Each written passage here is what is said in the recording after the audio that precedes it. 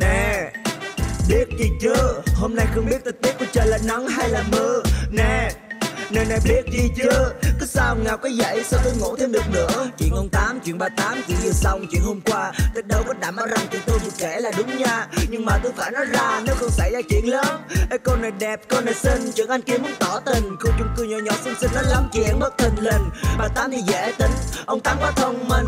Lời xong quá văn mình có điều hơi đau đầu nhức óc. Hình như cái chuyện mới xảy ra tại sao cô bé cái người khóc? Ây da, nè nè biết gì chưa? Có chuyện gì vậy hả? Nè nè biết gì chưa? Chẳng có gì đáng nói cả. Nè nè biết gì chưa? Thôi đang ngủ đừng làm phiền. Nè nè biết gì chưa? Tôi cũng đâu phải giảng vừa. Ok.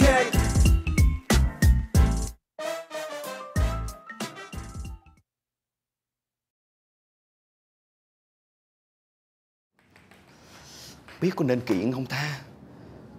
Kiện thì tốn tiền quá. Không biết kéo dài tới bao giờ mới rồi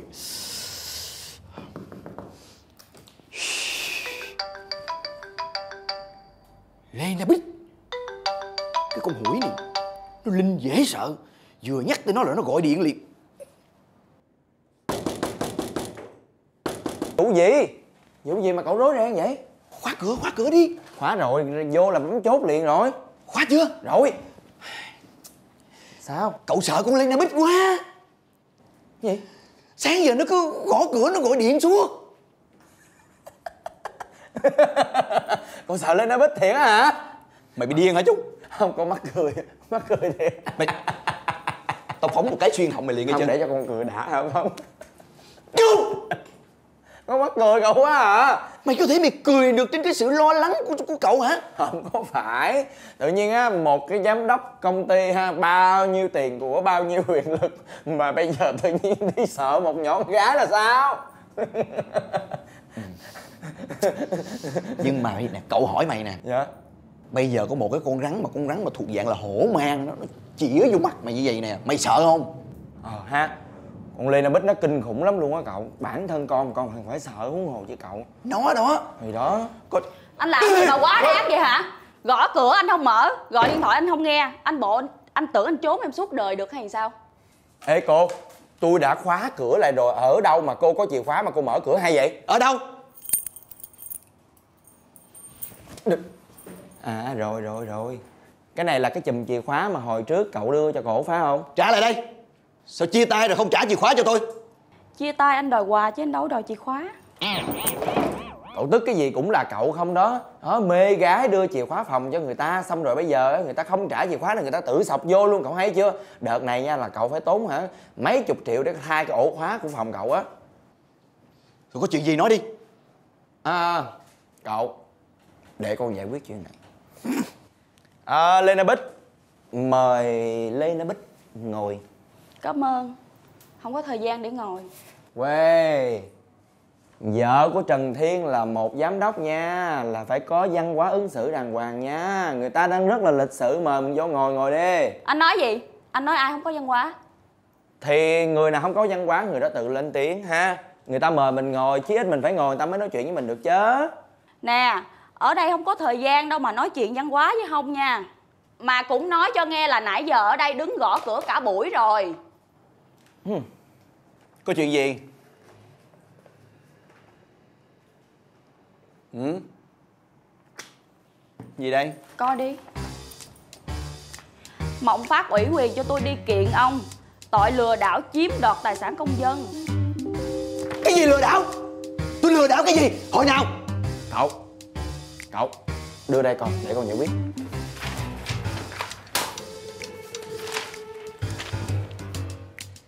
Cái gì? Cái gì? Lừa đảo hả? Tất cả những điều cô ghi trong đây đều là du khống cậu tôi tào lao. Không có du khống không có tào lao.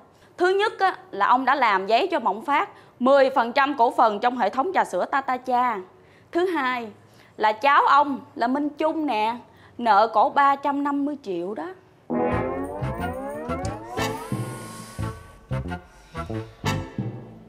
Rồi sao?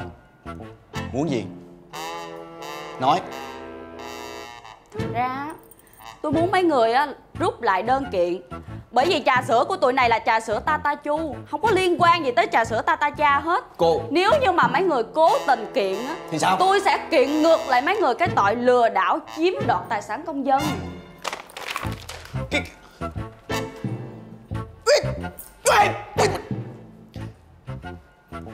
chưa? Nó khủng khiếp chưa?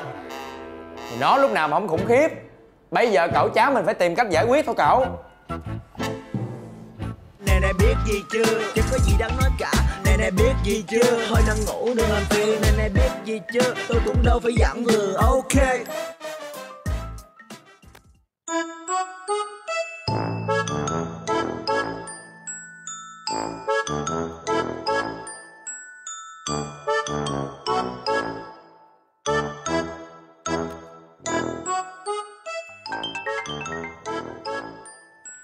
alo con nghe nè chú Ê, mày đang đâu ấy? con đang ra nè Ờ, thế sao lâu thế? trời ơi thì quán đông khách quá cô thơ đâu có cho con đi đâu chú Ờ, thế ở quán ấy có ai? thì có anh hoàng thông chị lâm xuân cô thơ mọi người đang bàn cái vụ mà ngày mai khai trương trà sữa mùng một á Ờ, thế à? Dạ. Ờ, sao không bàn với tao nhỉ? con đâu biết đâu Hả? không biết Ô, cái con này Này mày mày mày tiêu diệt tiền của tao đấy phải không?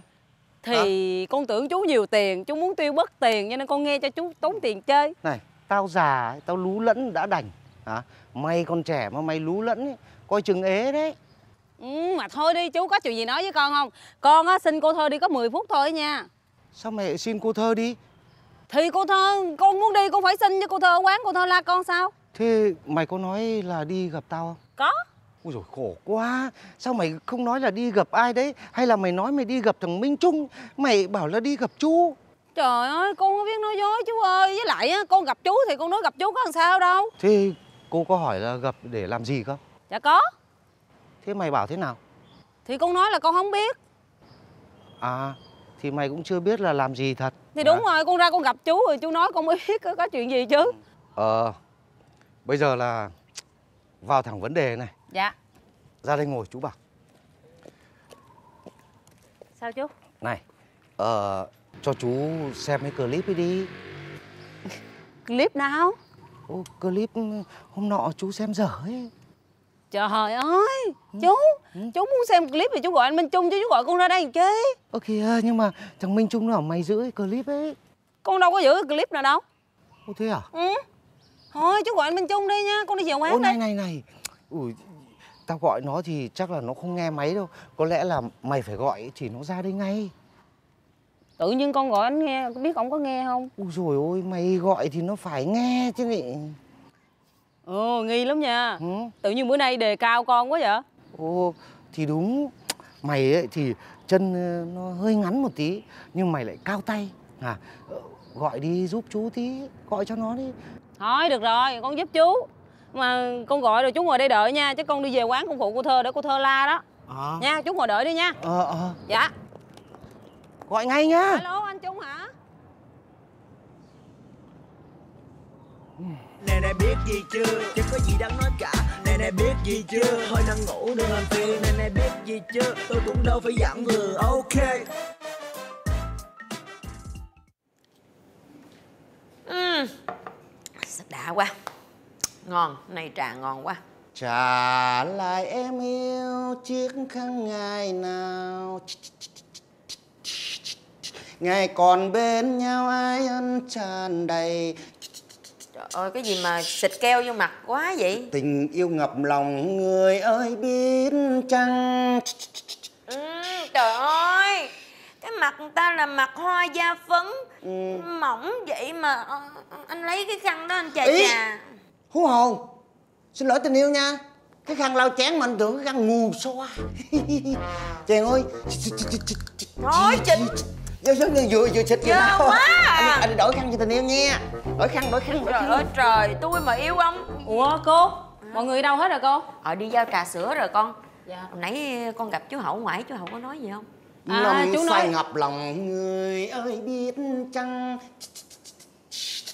Trời Mặc qua cho phấn phó hồn Anh sợ Ủa con? Dạ. Ừ? Mới tới hả? Dạ. Trời giờ có có có tình yêu rồi giờ không có thấy ai đó Chân trời như bé nhỏ. Nói bậy Mặc bạ hoa cho phấn hả? Vô duyên. Ê, trời ơi chú sự. Công nhận nha con nhìn chú sự chăm sóc cô thơ. Con thèm muốn chết luôn á. Bậy á. Không có nên nha. Tình yêu của chú dành cho thơ là tình yêu số một. Không có trái tim chú không có nhiều ngăn nha với lại lứa tuổi nào tìm lứa tuổi đó con thèm những người lứa tuổi như con đừng có thèm đây loạn lưng chết à. Trời ơi chú sự Gì? ý con nói là con thèm tôm sú hấp dừa mà. Cái gì trất quốc vậy trời? Tự nhiên tình yêu thèm tôi suốt nước dừa. Ông á, ông mới trất quốc á. Tự nhiên nó thấy mình chăm sóc cho nhau nó thèm tôi suốt nước dừa. Thì bây giờ nè ra mua mấy trăm gram rồi hâm nước dừa ăn có gì đâu mà hết thèm à. Không phải ý con á là con nhớ quê con. Ờ. cái gì chú quốc nữa vậy trời? Ông mới trất quốc á Người ta có nói gì dính líu gì tới ông đâu. Có nó thấy tình yêu này chăm sóc cái nó nhớ tầm số rồi nó thèm cái quê nữa. Người ta thèm ăn Còn ông thèm tình yêu mà ai ban cho ông tình yêu? Ông cứ tưởng tượng ra rồi ông lấy ông lau chùi cái mặt người ta như cái mặt bàn vậy á. Chú sự biết sao không? Sao? Tại vì hồi xưa ở dưới quê ông nội con á chăm sóc bà nội con cũng ngọt ngào dễ thương như là chú sự chăm sóc con thơ vậy á. Con thấy gì không? Dạ. Con thấy sượng không? Con nhỏ này nó nói chuyện có duyên. Tôi chết Ông liền. mới là sượng đó. Tôi thấy ông sượng nhất Trời đất ơi nó nói phải rồi. Ông thấy không? Riết rồi nó nói tôi với ông là ông nội bà nội. À. Tôi sượng quá mà nó vẫn kêu tôi bà nội. Dạ con con đâu có ý đó đâu. Hả? mệt ghê. Mệt tình yêu tôi còn tươi. Tươi. Tự nhiên lấy ông nội bà nội cho đây cái ngủ luôn. Ngủ gì? Ông mới nghe ông dẹp đi cái mặt người ta đang đẹp Rồi ông cứ đem ra rồi ông lấy giấy ông chùi Ông lau bàn lau mặt giống như tôi tôi mặt tôi mặt bàn vậy. Hả? Quên quên. Cái khăn lau chén mà tới khăn mù xóa. Cái gì ông cũng nói được hết á thôi bỏ qua vụ cái khăn này nhà có khách. Chưa nha đừng có lấy đụng cái khăn nào mà cũng lao lên mặt người ta. Làm như người ta mặt bàn vậy? Sao vậy? Giờ ngồi nhìn tôi hoài tôi đẹp quá hả Ủa con nãy không có gặp chú Hậu không? Chú Dạ. Hậu có nói gì không? Ờ, cô không ấy chút nữa con nói riêng với cô chuyện này nha. Nói riêng hả? Dạ. Vô trọng coi con cái gì làm được. Trời ơi ơi. À, cái có duyên nó lây qua đây đó hai người có duyên tôi chết liền á. Sợ tôi bà tám phô Thứ gì à? Nhiều chuyện. Còn đây.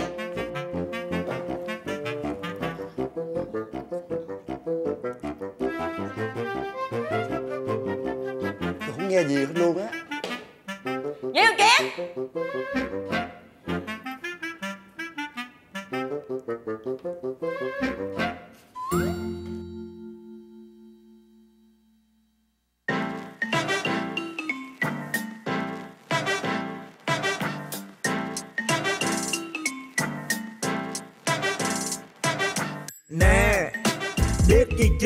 Hôm nay không biết thời tiết của trời là nắng hay là mưa. Nè, Ông Tám quá thông minh Lời sống quá văn Mình có điều hơi đau đầu nhức óc. Hình như cái chuyện mới xảy ra Tại sao cô bé cái người khóc?